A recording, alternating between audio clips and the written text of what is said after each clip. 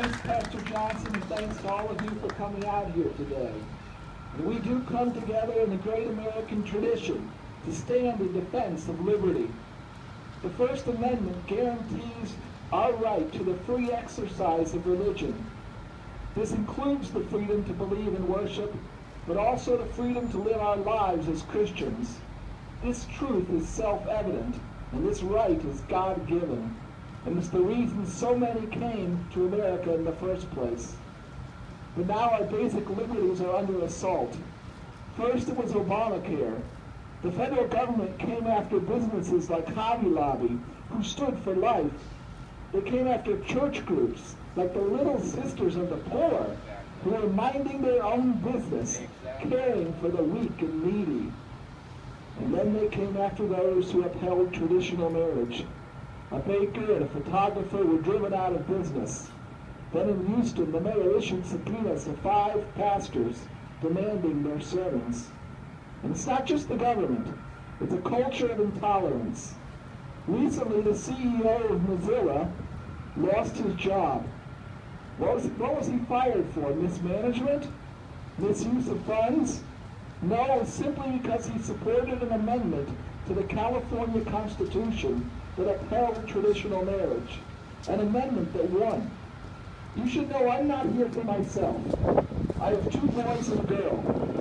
And I pray and I wonder, will they be able to grow up in this land as Christians without being marginalized, ostracized, and even criminalized?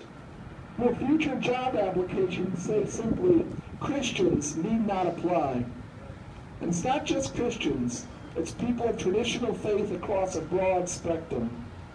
Our parents and grandparents knew that marriage was the union of one man and one woman. It was elementary. And they weren't haters, and they weren't ignorant.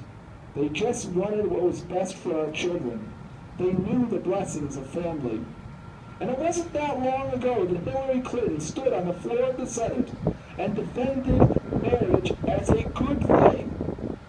And it wasn't that long ago that President Obama stood for traditional marriage and called it a God thing.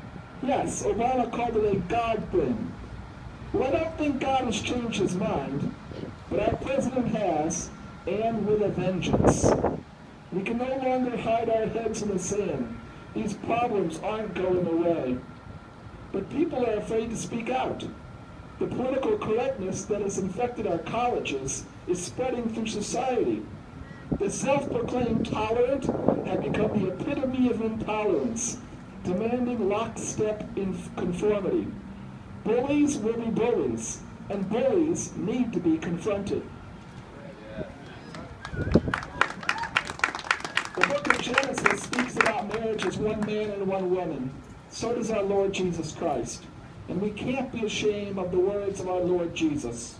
For that is the story of salvation, his love for his bride, the church. Marriage is written into our humanity.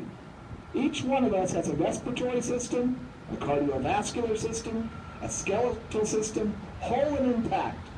Only the reproductive system is different, for it functions only in the coming together of one man and one woman.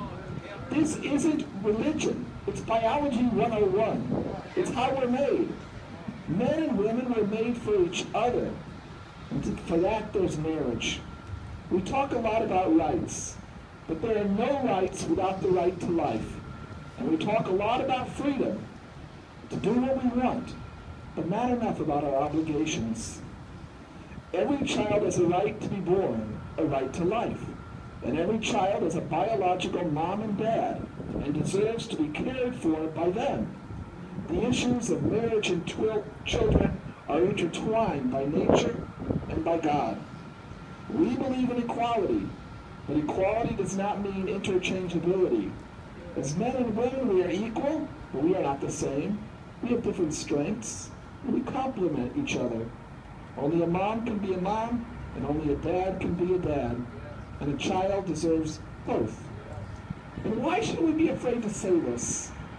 Why should our people be marginalized for saying what President Obama and Hillary Clinton both said not so long ago?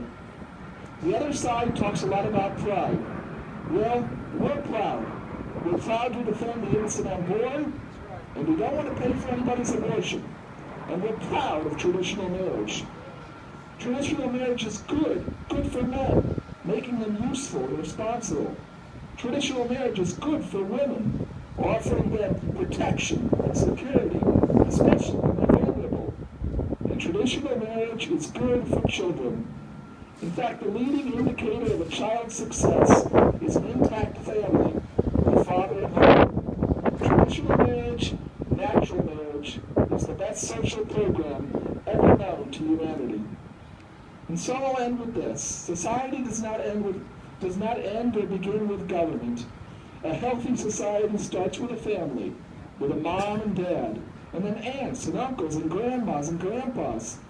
This is the first and best safety net.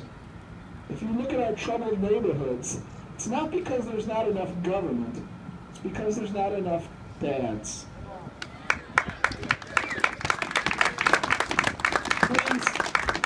I don't want anyone to be misled.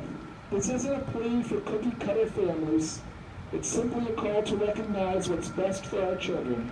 It's a call to liberty and to life. For all the talk about having a right to marry, for all the talk about marriage equality, we still have to address the real question what is marriage? If you would like to engage us in the debate, let's have it. Let's have at it. Let's really talk about it. And let's talk about it in liberty, a liberty befitting our republic. God bless you all.